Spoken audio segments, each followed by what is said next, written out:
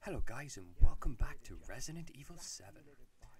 Digi here, and today we're going to be having a look at the boss fight with Jack in the boathouse. So, what we're looking at here now is an extraction of uh, some footage from my live broadcast of the event. Thus, that echo you hear in the background is me panicking, but this is my second attempt. It only took me two. So, the first thing I'll say is this boss is badass. As in terms of, how Jack goes, um, yeah, this was great. I got a bit of help from my friends, of course. The guys, uh, we had a few people jump in and out as I was making these attempts, and uh, were kind enough to leave me some tips and whatnot. And the basic concept of the boss fight is Jack. We'll give him a new name as soon as I can think of one, but he's still Jack. He's got all these eyeballs all over his body and naturally enough, you want to, um, well, shoot them and destroy them, for lack of a better phrase or terminology. Easier said than done. What I found was most effective was my two-barrel shotgun. Or I'd imagine the the uh, the four shot, the the regular shotgun you start off with that has four in the chamber would be useful as well, but it doesn't matter. I found the shotgun two shots per eye. Uh, whenever I could, I would get some distance and pop away with the handgun, but I found the shotgun was most effective. What I brought into the fight was my handgun, my shotgun, and the flamethrower. I did not bring the grenade launcher, and I found the flamethrower was pretty useless. So, really, you want to kind of just focus on them with the shotgun. There we go, right there, you just seen I took uh, an eye out, and you want to play hit and run. That's what I'm going to call the game. Uh, you you get close to your target, you spot an eye that you want to take out, you take it out, and you continue running. Get a, get away from him, get your bearings, pick out your next target, take your time, and then move in and do that exact same thing again. In this example, even though there was an eye showing, because my health is an issue, and I wanted to get out of there, I climbed the ladder and I took another target, which is this one. So, if you're heading into this fight and you're looking at this video as a kind of a guide or a tutorial, you don't need to overburden yourself with weapons. What you do want is you do want shotgun ammo and your shotgun. The handgun is quite handy as well. What I found for breaking these crates later uh, in this fight is rather than running up to the crate and then breaking it with my knife, to shoot it with my handgun as approaching, to speed things up. I don't want to be stood anywhere for too long at any one point. Um, going back on the guns, so yeah, I found I had no use whatsoever for the flamethrower slash burner thing. I didn't bring my grenade launcher in, and I found I didn't need it. I definitely, definitely needed the shotgun, and the handgun's just ha handy to have. So all the rest of the room that you have spare, what you want to do there is put in as many health items as you can. That's where those will go, because you might be healing quite a bit.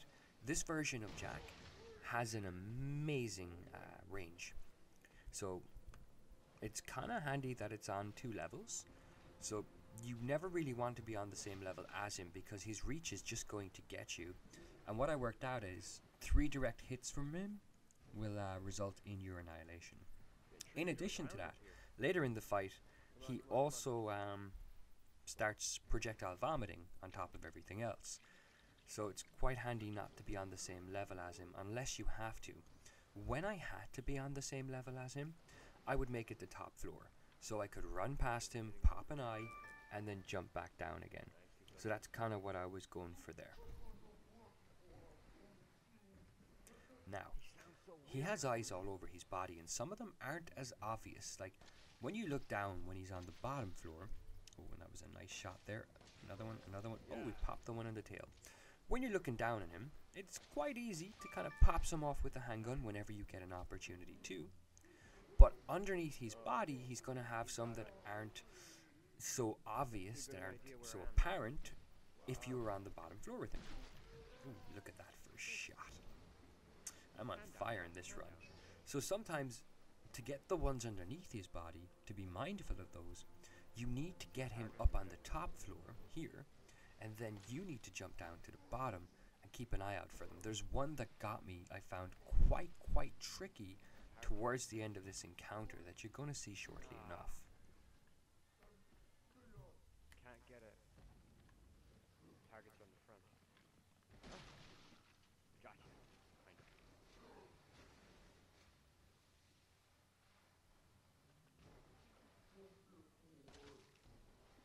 Ah. It's proving tricky. One. Whoa, what happened there? I'd, I'll happily take credit for that, but I'm pretty sure it wasn't me, and he's getting faster now.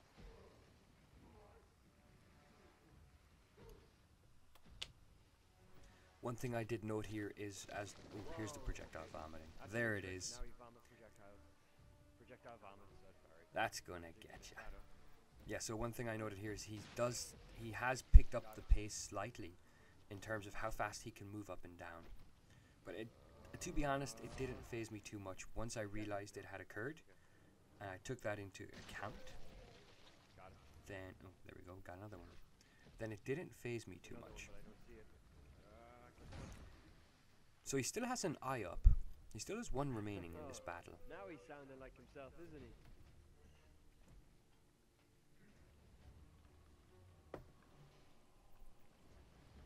Where's the eye? Where's the eye? Where's the eye? Now, try as I might, from this angle, I just cannot spot the eye. This is where I struggle the most.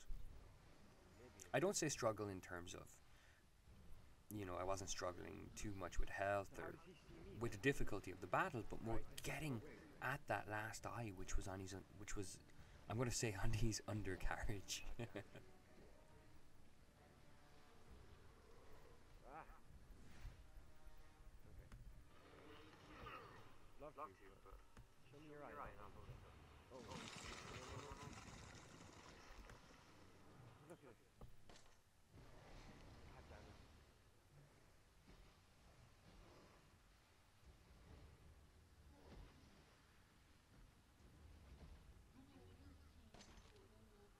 on, move, move, move. God damn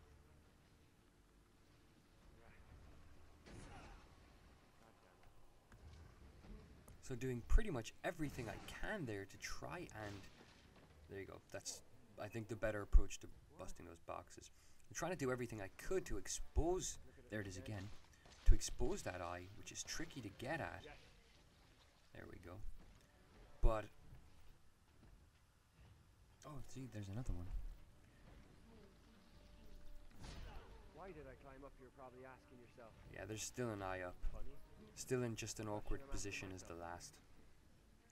But yeah, I was tr- trying to get him to expose it, but you also risk the chance when you're standing there, like popping him, trying to get him to move a little bit to expose that eye. You run the risk of, um, well, taking a slap off him Something at worst, or at best, I guess, or projectile vomiting at worst. oh, the irony.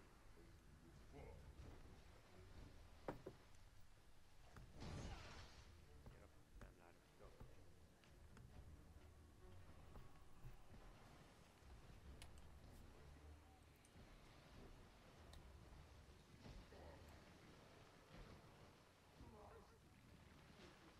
Go.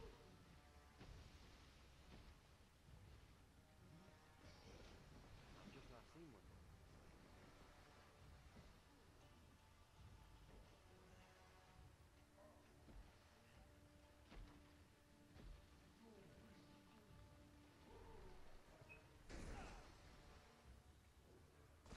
Whoa. Oh, that was totally unexpected right there.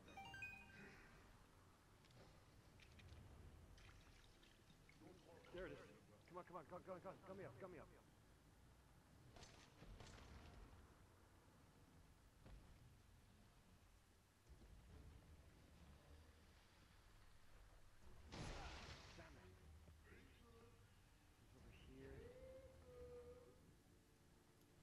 I love how he shouts like that.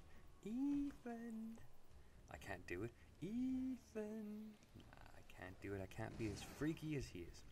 So, yeah, the majority of this ba- this boss battle for me is trying to get that that eye.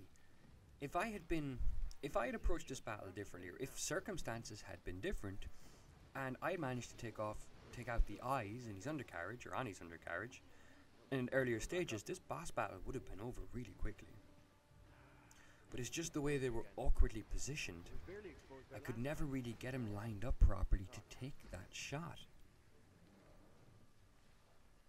So that's kind of my game plan here right now. I'm trying to get him to come up so I can jump down, so I can kind of move around and see if I can kind of.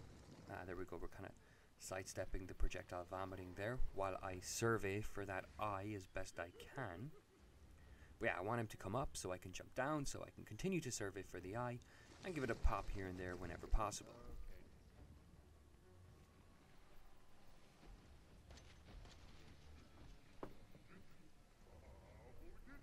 No, there's still a. Whoever wrote now you need to shoot him in the head. Uh, there's still an eye up that we spotted. I just can't seem to get to it yet. um, just in the background there, I'm just um, replying to the people who were nice enough to um, well to stay with me during this fight.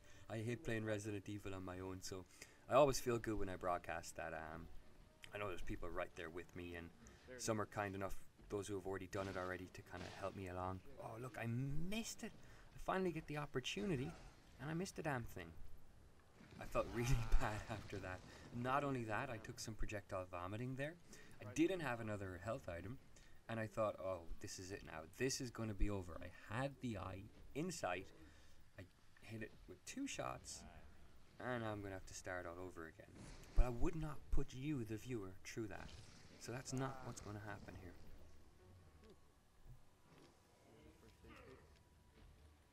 First instinct. Oh boy. It's over here. Look. Ah. Oh come on. Alright, so he's no sooner been up, and I've no sooner started surveying him, and he's come back down again. So I'm going straight back up. As you can see, I cannot afford to take a slap from him in any way, shape, form, or fashion. So I am on the hunt for healing items of any type. I'm forced to go this way. Ah. Can I get it from here? Back. I immediately regret that decision. Yeah. Back. This is first aid. And we have a health item, so I'm back in the game. Getting kind of close to it now. So this, of course, if I was to do this fight again, I think I'd be able to do it a lot quicker. The essentials, to recap, when you come into the fight, you definitely want your shotgun with as many shells as you can carry. Um, you want the handgun for certain. You really do not need the flamethrower or the grenade launcher. You can leave those in the box, and you can take as many health items as possible. There we go. Got that eye. And once you head in, the boss is full of eyes. You want to take out all the eyes in a hit and run fashion to take the least amount of damage possible. So, once you've hit all the eyes, you no longer have access to the ladders. He goes under, he comes up. This is all, of course, a cutscene, and you have no control. Until now, there's one eye left. It appears on the head. You want to take it down. That's what you meant by shoot I think the head, I guess. it took me four shots. Come on, come on, come on. Three. There it is. Took me four. Four shots and he's down. Oh boy. Now he's going to get up one last time.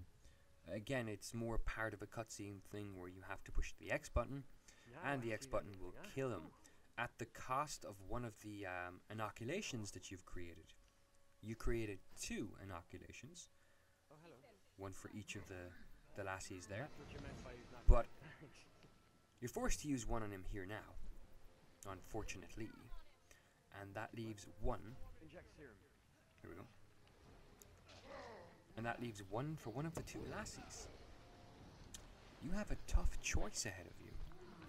But I believe, I hope, I pray that this is the final blow for Jack.